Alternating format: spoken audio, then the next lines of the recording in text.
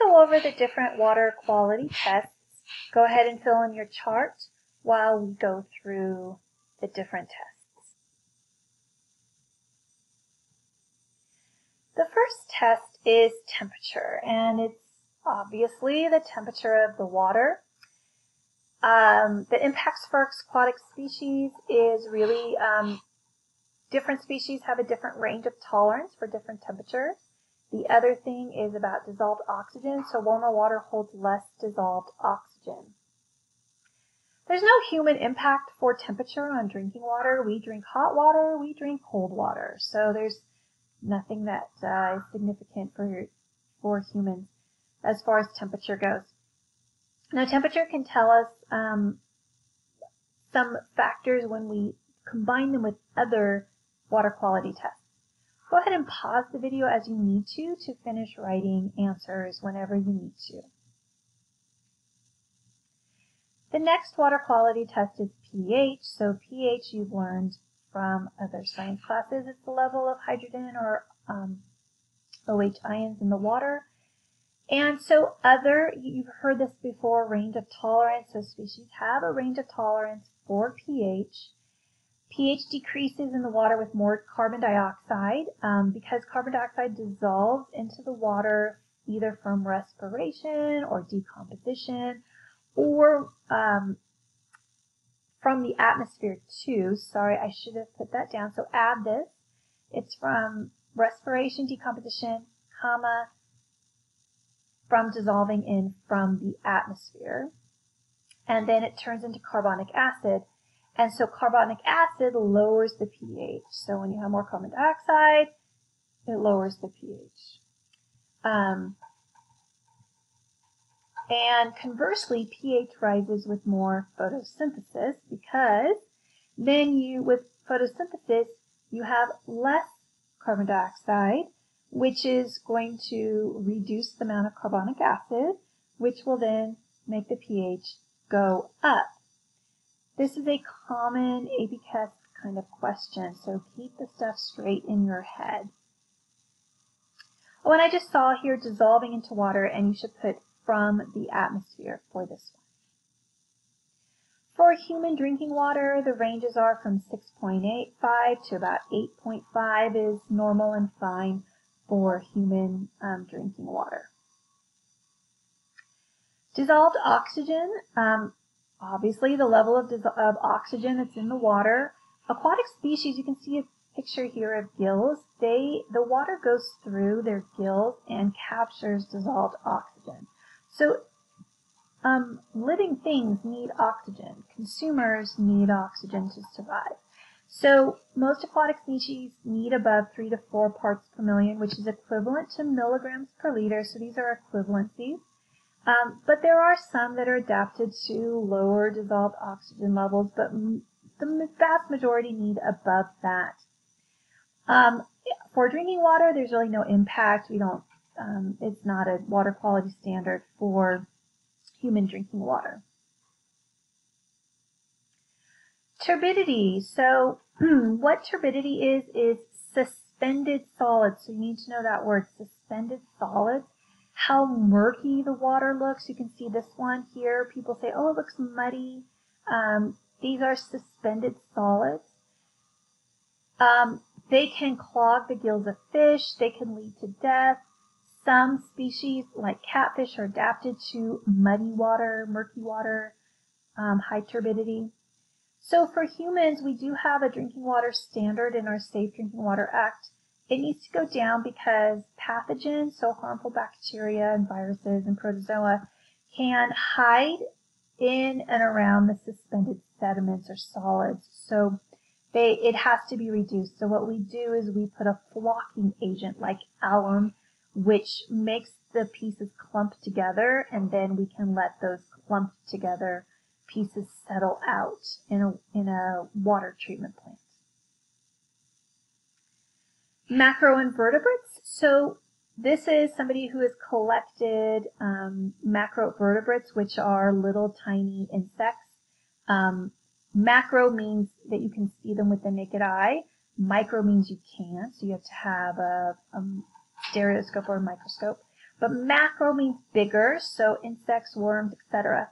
And what they tell us is the level of pollution. They don't tell us necessarily what pollution it is, but there are some species like worms that are fine with lots of pollution and other species die off.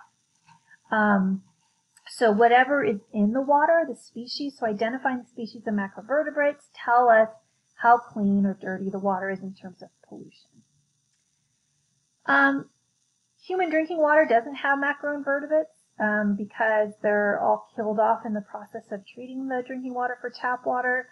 Um, but pre-treatment, so our water that's coming from a, a lake or a river, we monitor macroinvertebrates because they're an indicator of other pollution. But they're not in our tap water. Coliform bacteria um, comes from human poop or other mammal poop. So sometimes we call it coliform bacteria, sometimes we call it fecal coliform bacteria. A, a, a well-known example is E. coli. So coli comes from coliform. Now, aquatic species are kind of used to coliform bacteria. So if you get a sample of water from a lake or the ocean and it has some in there, it doesn't mean it's going to kill off fish or whatever. They're adapted to it. But the biggest problem is for human health. It's very dangerous. The drinking water standard from the Safe Drinking Water Act is no bacteria, no coliform bacteria, like at all. You can't have it at all in the water, not even in a small amount. So our water treatment plants kill all living things in the water, including coliform bacteria, um, and macroinvertebrates or anything that's in the water. They kill it through either chlorine or ozone or UV light. So those are the three main ways that we kill coliform bacteria. In Santa Clarita, we kill it through um, ozone. Nitrates. So nitrates tell us the level of nitrates. Now the nitrates could come from fertilizer runoff, feedlot runoff, sewage spills. Here's a sewage spill going out somewhere, um, either in surface. Um, it can come from groundwater too. So people who their drinking water comes from well water, either um, out in rural areas or in some cities, like actually in Santa Clarita, half of our drinking water comes from Castaic Lake. Half of it comes from underground groundwater. There's actually a huge aquifer um, under our river and under um, the Saugus area. And so um, fertilizers that soak into the ground can get into groundwater. Aquatic species can tolerate high levels of nitrates um, than ammonia. So ammonia is really what comes out from like fish poop or um, decomposition, and then nitrifying bacteria turns it into nitrate. So this is why this is going back to the nitrogen cycle, and you learned about nitrification, and here it is related back to water pollution. So when things are decomposed or poop, um, ammonia is more common, but it's more toxic to fish and other aquatic species turtles, other things that live in the water. So it's um, really important that a body of water has a healthy population of nitrifying bacteria to change it from ammonia to nitrates because aquatic species can tolerate pretty high levels of nitrates. Not indefinitely, too high of nitrates can be bad, but most of the time, much higher levels of nitrates than ammonia. So nitrates are bad for human health the drinking water standard from the Safe Drinking Act is uh, drinking water can, can't have more than 10 parts per million. Um, in smaller amounts, it can cause blue baby syndrome in infants. That's why sometimes they tell you if you're in an area with a lot of farming, they tell you to use bottled water to make baby bottles um, instead of tap water. In Santa Clarita, we whenever we've done these tests from tap water in my lab, sometimes they're like at three, which is fine, uh, and but most of the time they're at zero, so we hardly ever have nitrates in our drinking water. Heavy metals. Um, so there are different heavy metal tests when we do this in lab, um, a cheap heavy metal test is copper, and so we often test for copper. Um, it's more expensive to test for lead um, and mercury, so we usually do copper in the lab. But people that are have older houses where, that use that were built with lead pipes, sometimes they'll test their water and see if lead is leaching into their pipes. That's usually older houses that are more than 50 years old or more, um, even longer than that. I'm not quite sure when they phased out lead from water pipes, but um, in Santa Clarita we don't have big lead problems in our drinking water because we don't have very many lead pipes. Anyway, um, people can get lead tests at um, a hardware store, Home Depot, Lowe's, and can test their water for lead. But they're more expensive um, tests, so that's why we don't do them in, in class.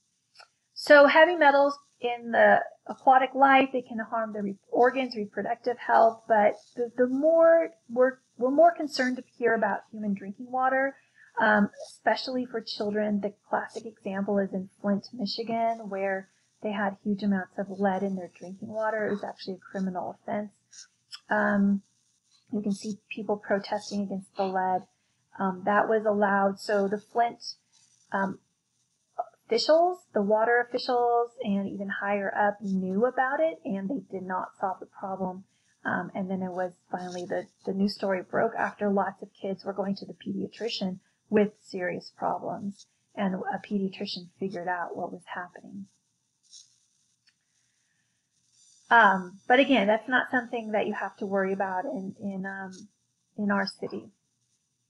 Okay, so uh, hardness. So what does the hardness test tell us? So it tells us the level of calcium and um, or magnesium in water. Um, the different tests. So in class, we usually use one that measures calcium. Um, there's probes that will measure calcium, that will measure magnesium. For aquatic species, they're usually fine. They're adapted to it. They can provide minerals. So our bodies need calcium, our bodies need minerals. So you know, that's not a problem. Um, same for humans. Like if you drink, our, our water is very hard in Santa Clarita. Um, if you drink it, it's actually fine. It gives you calcium and magnesium, but we don't like it because it makes spots on our dishes and builds up deposits. So you can see here that this is white. It's not because it it's uh, black paint is worn off. That's not it. This is actually calcium buildup. So if you go to your sinks and faucets and you look around the rims, you will see white buildup. Um, and that is from calcium because we have very hard water here in Santa Clarita. The next test is total dissolved solids or conductivity. So um, they are very similar to the other. If you measure conductivity, you can do a very short um, conversion to get total dissolved solids.